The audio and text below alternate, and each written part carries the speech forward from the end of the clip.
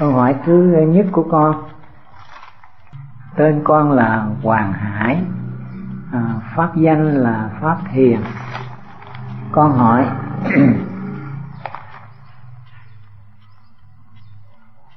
thích Pháp Thiền kính thưa thầy. À, con hỏi cái pháp danh của con nghĩa là gì? Con cũng mới được quy y theo thầy được thầy ban cho pháp danh là thích pháp thiền kính thưa thầy xin thầy giải đáp cho con hiểu thêm về ý nghĩa của pháp danh này để con cố gắng tu tập. Chữ pháp thiền chữ thiền ở đây có nghĩa là ngăn á diệt á sanh thiền tăng trưởng thiền. Đó là ngài mấy con con mang cái pháp danh là pháp thiền tức là pháp tu pháp tu.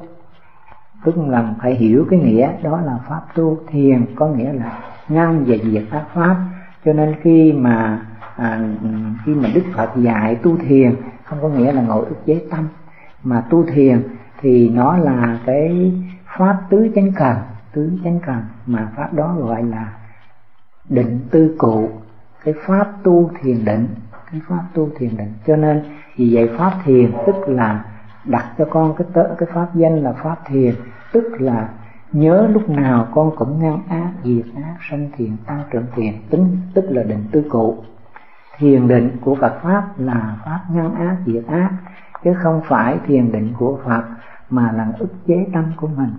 Cho nên nó có, nó còn có danh từ gọi là định tư cụ, dụng cụ để tu thiền định. Thì nó pháp thiền, tức là thiền định. Mà thiền định thì ngăn ác, diệt ác. Cho nên hàng ngày, khi mang pháp danh này có một điều gì làm cho mình buồn phiền, làm cho người khác buồn phiền thì ngay đó ngăn diệt diệt bất khắc bởi vì ngăn diệt mà. Cho nên mang cái pháp danh này, cái tên này thì luôn lúc nào mấy con cũng luôn ngăn và diệt ác pháp. Trừ ra có những pháp thiền làm vui mình, vui lòng người, thì không diệt mà thôi. Còn hệ tất cả những pháp gì mà có sự buồn khổ, thì mấy con ngăn và diệt liền, tức là không để ở trong tâm của mình. Nhớ mang cái pháp danh này là mang cái pháp danh để mà tu tập bốn bốn sự bốn sự hàng ngày, siêng năng tu tập bốn sự đau khổ ngăn ác, diệt ác sanh thiện tăng trưởng thiện lúc nào cũng tăng trưởng cái điều thiện pháp mà diệt trừ ác pháp. Đó là cái pháp danh của con. Phải nhớ phải nhớ kỹ pháp thiền, tức là định tư cụ. Mà định tư cụ tức là tứ chánh cần pháp tứ chánh cần nhớ chưa? Mấy con ghi cho nhớ cái tên của cái pháp danh của mấy con. Cái nghĩa của nó nó như vậy, nó sâu xa như vậy. Cho nên thầy đặt, tùy cái đặc tướng của con mà thầy đặt cho con để hàng ngày con ngăn diệt các ác pháp để đem lại một tâm hồn thanh thản bình an cho con được giải thoát. Đó là pháp danh pháp thiền. Câu hai. À, bây giờ cái bức thư này thì con hỏi thầy là diệu phong. Thầy có cho con cái pháp danh là diệu phong. Pháp danh này ý nghĩa là gì? À, có con nghe phong là gió diệu là di diệu gió di diệu gió mát mẻ. Gió đem lại cái sự an ổn cho um, thoải mái dễ chịu an ổn cho tinh thần của mình. Đó gọi là diệu phong. Nghĩa là lúc nào mình cũng nghĩ ngợi hoặc làm tất cả những hành động gì nó như là cái cơn gió mát mẻ. À, không có nên làm một cái điều ác mấy con bởi vì làm một điều ác thì không phải tên của mình. Tên của mình coi như là thầy đặt cho con coi như là Ừ, cái tên của con là một cơn gió thoải mái dễ chịu mát mẻ đem lại cho mình được an vui và người khác an vui. Đó là từng lời nói từng hành động của con như là những cái cái cái gió di diệu cái gió um, mát mẻ cái gió thoải mái. Đó là chữ phong là gió. Chữ diệu là di diệu nhẹ nhàng êm dịu ôn tồn. Đó là diệu. Cho nên vì vậy cái pháp danh đó phải hợp với con để lúc nào con cũng ừ, làm những cái hành động gì, nói hoặc làm một cái điều kiện gì, hay suy nghĩ một cái điều kiện gì, thì nên suy nghĩ những cái điều kiện hiền lành, cái điều kiện đem lại không làm khổ mình khổ người, khổ chúng sanh, thì đó là diệu phong. Đó là cái gió gió thoải mái, gió di diệu. Không nhớ cái tên của mấy con để nó hợp với cái con người của mấy con mà mấy con cố gắng khắc phục những cái lỗi lầm của mình từ lâu tới giờ. À, mình đã không có, đã không làm cho mình được bình an, đã không làm cho người khác bình an thì cố gắng khắc phục để cho mình xứng đáng cái tên của mình, cái pháp danh của mình. Các con nhớ điều này, thì do đó thì con sẽ được hạnh phúc, sẽ được giải thoát. Ở đây thì nói chung là cái tên của mấy con thì nó cũng là tùy theo nhân quả mà đặt. Bởi vì nhân quả là cái nghiệp của mấy con đang lạnh ví dụ như bây giờ mấy con đang thọ cái bệnh thì tức là nhân quả rồi. Mà thầy đặt cái tên cũng tùy theo nhân quả, thì đúng chứ không sai. Bởi vì thế nhưng con ừ, nhưng con cũng mơ hồ nghĩ rằng pháp danh của mình là do duyên nhân quả gì đó. Đúng vậy. Đúng vậy chứ không sai. Bởi vì nếu mà mình mang cái thân này là thân nhân quả rồi, mà đặt cho cái tên của mình phải phù hợp với cái nhân quả của mình, để cho mình làm chủ nó, để cho mình Ờ, được giải thoát cái thân tâm của mình, được bình an, không còn đau khổ nữa. Đó là tùy theo cái nhân quả của mình, tức là nói đặc tướng, tức là nói gì nhân quả của mình, mà người ta đặt cho mình cái pháp danh.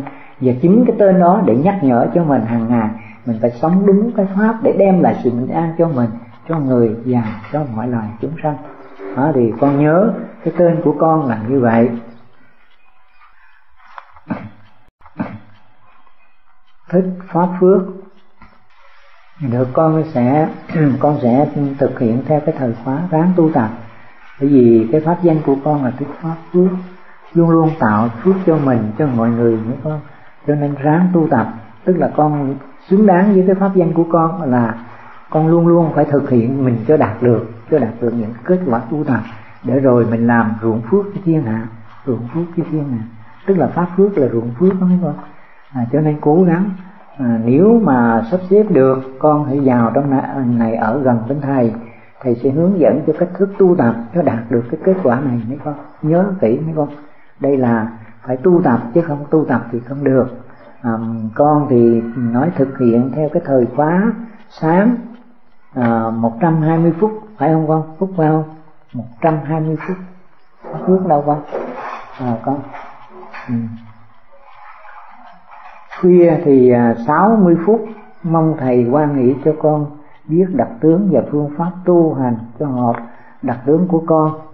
À, trong thân con hiện giờ có bệnh đau gì không con? Mạnh khỏe không có gì. À, như vậy thì con nên tập tu à, cái định niệm hơi thở con. Bắt đầu nhiếp tâm trong hơi thở. Hít vô tôi biết tôi hít vô thở ra tôi biết tôi thở ra. Con có tập hít vô thở ra chưa? Con đang tập hả? Con có thấy tức ngực không con? Chưa có gì hết đâu con? Như vậy là con đã có duyên với hơi thở rồi. Nếu mà con tập đầu tiên mà con tập hơi thở mà con thấy tức ngực là mình chưa có đủ duyên với hơi thở thì mình phải tu pháp khác. Mình tu chánh niệm tỉnh giác, tức là đi kinh hành hoặc là đưa cánh tay ra vô, tức là tu pháp hành, thân hành ngoại chứ không được tu pháp thân hành nội. Mà bây giờ con lại tập hơi thở mà không thấy tức ngực, không thấy gì hết á thì đó là cái duyên tu được hơi thở. Thì con sẽ nương vào cái tập sách mà dạy 19 cái đề mục của hơi thở đó.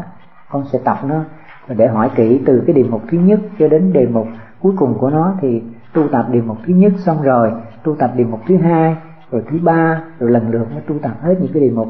Bởi vì đó là cái phương pháp để ngăn á diệt ác pháp. À, ngay trên đặc tướng con là thân con không có bệnh đau à, nên con phải tập đi từng bước từng bước như vậy con ờ, tập được không con? À, con ráng tập được không? Để rồi sau này đó con phải làm xứng đáng với cái tên cái pháp danh của con pháp phước. Pháp mà đem lại được mọi người yêu được bình an cho mọi người đó là cái phước báo đó. Cho nên con phải tu tập để mình ờ, làm cái điều tốt cho thiên hạ. Mà nếu mình tu tập thì mình mới làm tốt được còn mình không tu tập thì làm sao mình làm tốt được? Mình lý thuyết xong xuông thì ai tin? Cho nên mình phải hành mình phải làm được thì người ta mới tin. Đó thì nhớ kỹ con ngồi xuống đi con. Ừ. nhớ cái con cái đặc tướng của con á, thì con phải đi từ cái pháp định niệm hơi thở con ngọc liên. Ngọc liên đâu con? À con con ngồi xuống đi con. Con nhớ về tu tập con. À, trong khi đó con cố gắng về đặc tướng của con á, thì nên tập cái pháp mà chánh niệm tỉnh giác chuyên đó con. Con tu có thọ bát quan trai rồi, con biết chánh niệm tỉnh giác là cái phương pháp đi kinh hành con à con đi con hai cái pháp, con kìm cái hai pháp. Một là con đi kinh hành rất bình thường, chứ không phải là đi pháp thân hành niệm con. Con biết đi chánh niệm tỉnh giác đi, mình biết mình đi thôi. Rồi sau đó mình đi cũng ví dụ như cái dãy nhà này mình đi ba vòng vậy. Từ bắt đầu từ cửa đó mình đi một vòng rồi đây một vòng tới ba vòng thì con ngồi lại con chỉ ngồi lại con chỉ nhắc tâm của mình. Thư giãn tức là pháp thư giãn đó con. Con biết pháp đó. Thì tức là chuẩn bị cho con bước vào tứ niệm xứ đó là tập thư giãn thôi. Cho nên khi ngồi lại thì con um, tất cả các cơ đều buông xuống hết đừng tập trung gì hết để ngồi chơi thanh thản thôi. Thì đó là pháp thư giãn. Con biết pháp đó chưa? Thì thân tâm con nó tu nhẹ nhàng như vậy thì con sẽ rất tỉnh và đồng thời khi mà cái tâm con nó bất động được thì chừng đó thì sẽ tiến vào pháp tứ niệm xứ mà tu tập trên thân quán thân.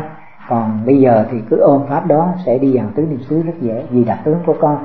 Chánh niệm tỉnh giác à, với cái pháp thư giãn thôi ha, con nhớ kỹ hai cái pháp đó. Còn tên con là ngọc liên liên có nghĩa là sen cây sen. Mà cây sen nó ở dưới bùn nhưng mà nó không hô tanh mùi bùn con hiểu chưa? Mà ngọc liên tức là cái viên ngọc mà không hô tanh mùi vùng tên con tức là không bao giờ để cho nhiễm những ác pháp.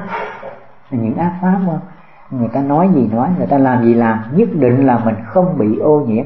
Cũng như là cây sen ở dưới bùn lầy mà không hô tanh mùi vùng còn ở trong một cái gia đình, ví dụ như người này to tiếng, người kia to tiếng, nhưng lúc nào con cũng giữ mình ngọt ngào với cái cái, cái lời ái ngữ không nên gì ảnh hưởng những lời.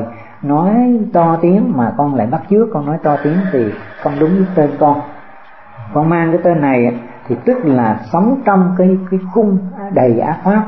Nhưng luôn luôn lúc nào con giữ trọn con là một người rất trong sạch không bị nhiễm những ác pháp đó. Đó làm như vậy mới xứng đáng cái tên của con gọi là ngọc liên không? Con cố gắng con giữ gìn con cố gắng bảo vệ cho mình xứng đáng với cái tên mình đã mang cái tên của mình. Thì như vậy nó mới hợp. Và pháp tu về đặc tướng của con thì chánh niệm tỉnh giác. Vì tỉnh giác cho nên mình mới bảo vệ được cái cái cái cái cái, cái, cái tâm của mình không bị ác pháp lôi cuốn. Cho nên phải tập cái pháp tỉnh giác và thư giãn để ngồi nghỉ mà thôi. Em con nhớ không? Nghĩa là thư giãn là mình ngồi nghỉ để rồi cái chính đó là mình đi kinh hành chánh niệm tỉnh giác con như vậy thôi. Để bảo vệ tập cái pháp đó để bảo vệ cái tên của con luôn luôn trong sạch thanh tịnh không ô nhiễm ác pháp. Ô nhiễm ác pháp. Cố gắng giữ gìn con. À, thích pháp tánh. Có gửi thầy một bức thư. Thì trong đó có những câu hỏi. Câu hỏi thứ nhất hỏi cái pháp danh của con là pháp tánh như thế nào? Chữ tánh đây là tánh thiện chứ không phải là tánh ác. Chứ không phải là tánh là phật tánh mà đây là cái tâm lành của con, cái tâm thiện của con. Pháp tánh tức là pháp thiện. Pháp thiện. Cái tâm thiện của con. Cho nên khi thiện nó như thế nào để chúng ta biết thiện? Thiện là không làm khổ mình khổ người và khổ cả hai, hoặc là tất cả chúng sanh. Đó là pháp thiện. Pháp tánh tức là pháp thiện. Bởi vì con người con người sinh ra mà nếu không Ừ, giữ được năm giới của Phật tức là cái đức hiếu sinh đức ly tham à, đức chung thủy à, đức thành thật đức minh mẫn thì nó sẽ không có pháp thiện mà pháp thiện ở đây tức là năm cái đức năm cái đức um, của năm giới. Mà năm cái đức của năm giới tức là pháp thiện mà pháp thiện thì sẽ không làm khổ mình khổ người khổ cả hai. Tức là không làm khổ cho mình. Mà hãy có làm khổ tức là không thiện có to tiếng, không thiện. Có hành động làm cho người ta buồn phiền là không thiện.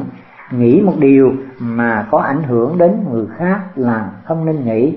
Tức là luôn luôn nhớ cái pháp ừ, ừ, nhớ cái pháp danh của con là pháp tánh, tức là pháp thiện. Thì luôn luôn lúc nào cũng giữ cái tâm mình ừ, tốt tâm mình, không có làm đau khổ ai cả. Chính bản thân mình cũng vậy. Đó là cái tên của con, cái pháp danh của con pháp tánh thích pháp tánh. Chữ tánh có nghĩa là tánh thiện tánh lành chứ không phải tánh ác. Thấy không? Con nhớ chưa? Thứ hai con hỏi câu hỏi thứ hai. À, trong cuộc sống con còn nhiều lầm lỗi và mất tỉnh giác hành con nghe thấy một bài hát hai à, một bài hát con hai bị lôi cuốn theo con chưa biết yêu thương mọi người đồng đều với nhau. Con yêu à, trẻ thơ và người già hơn những đối tượng khác. Tinh thần con mềm yếu thiếu quyết tâm. Tâm con còn chưa được nhường thiện.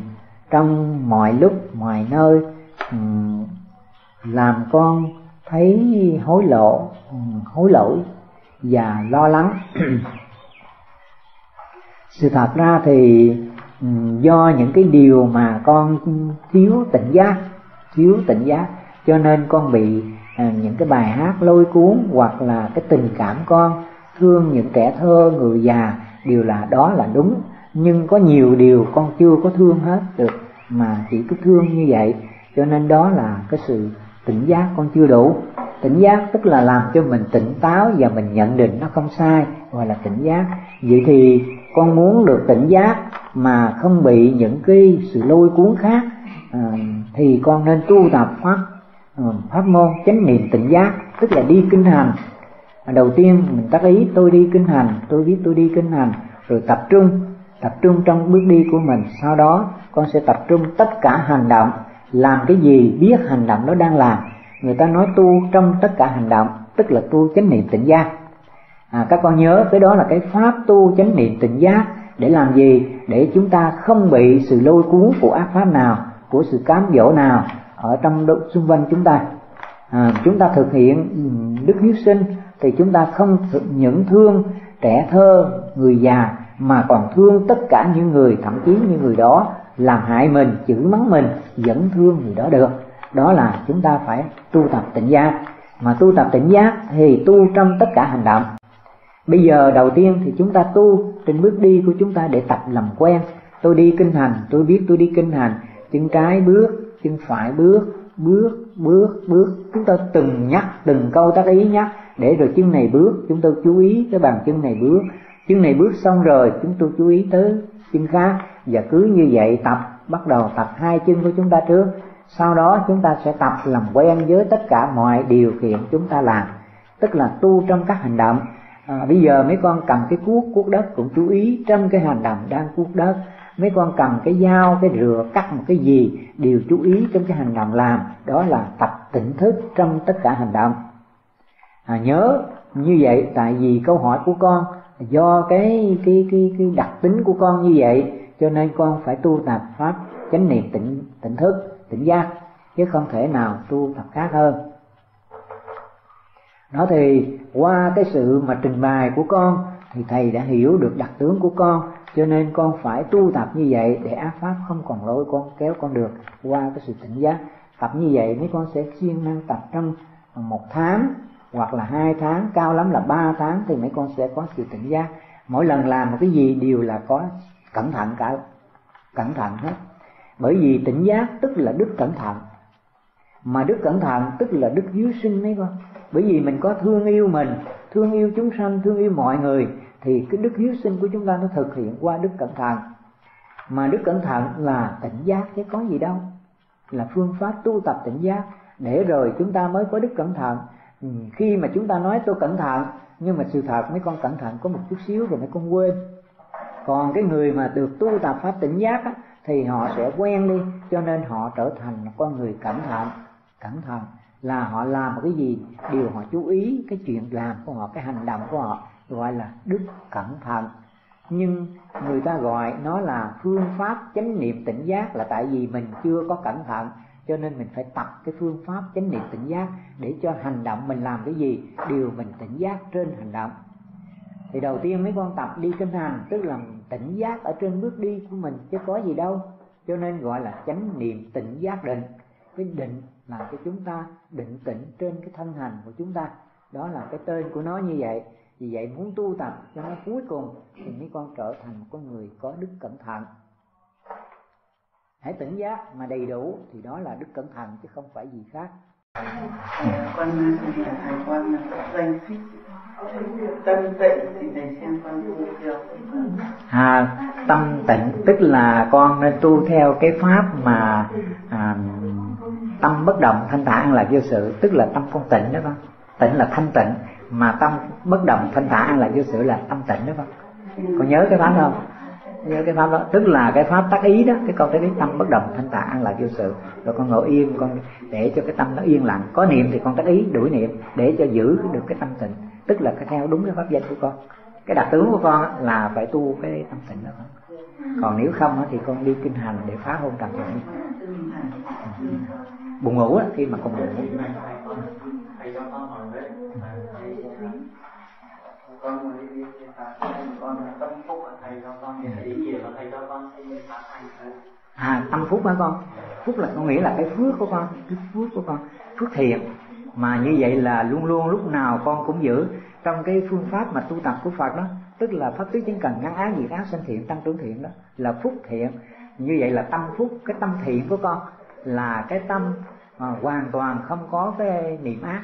Không? con như vậy là trên cái pháp danh của con thì lúc nào con cũng ngăn diệt ác pháp tức là tứ chánh cần đó. Phải tu tập cái tứ chánh cần cái tên của con là phải tu tập cái pháp tứ chánh cần à, gọi là tâm tâm phúc. Phúc là phước đó à cái pháp niệm là con niệm cái tâm bất động. Mục đích của thầy nói niệm cái tâm bất động thanh thả an lạc vô sự. Ngài nhắc cái tâm bất động thanh thả an lạc vô sự rồi chút có cái niệm, có cái niệm gì xẹt vô, mấy con lại niệm câu đó nữa, tâm bất động thanh thản rồi không có niệm gì xen dưới này được. Đó là pháp niệm. Hiểu không? Còn cái pháp danh của con nó là cái pháp niệm, cho nên vì vậy con phải giữ gìn hàng ngày cái câu tác ý đó, để rồi con đi đến cái chỗ tâm bất động vô lậu hoàn toàn đó. Hỏi nữa đâu chưa chưa? Nhớ tu nha, thầy cho cái tên là phải nỗ lực tu cho đúng cái tên của mình tên tôi sao, tôi phải làm vậy đó. Hiểu chưa? Mấy con nhớ. thiện thành. Con ừ, thiện thành đâu đây con ngồi xuống không ừ, về cái pháp danh của con là thiện thành. Thiện là những pháp thiện. Thành là làm nên những pháp thiện. Thành là nên đúng không? Cho nên con phải làm cho trọn vẹn nên tất cả cuộc sống của con hàng ngày đều là trong thiện pháp. À nãy giờ hoàn toàn những cái pháp danh của mấy con dù đặt cái tên nào nghe hay nghe dở gì toàn là nằm trong thiện pháp đấy. Các con hiểu chỗ mà thầy đặt không và tên thì có khác nhau, người này không trùng với tên người kia, nhưng mà điều kiện nó quay chung quanh một cái trục của thiện pháp, đúng không? Không có rời thiện pháp, nhưng mà tên người nào nó cũng khác nhau. À nói người đó thiện thành, người kia tên gì gì nó không có trùng nhau, nhưng mà cái ý của nó thì nó nằm ở trong cái thiện pháp hết đúng không?